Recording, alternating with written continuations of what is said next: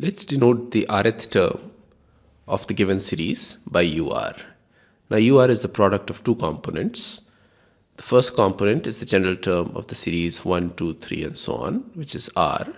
And the second component is the general term of the series n, n minus 1, n minus 2 and so on, which is n minus r minus 1. UR can therefore be written as r times n minus r plus 1 which is equal to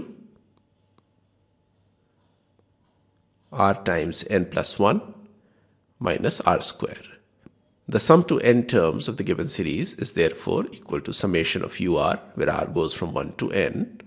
Plugging in the value of ur obtained above, Sn can be written as n plus 1 summation r minus summation r square where r goes from 1 to n.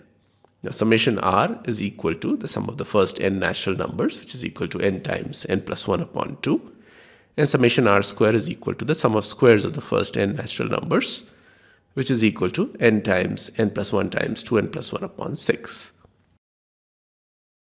Plugging in these values and taking n times n plus 1 upon 6 common in brackets we get 3 times n plus 1 minus 2n plus 1. This is equal to n times n plus 1 upon 6 times n plus 2.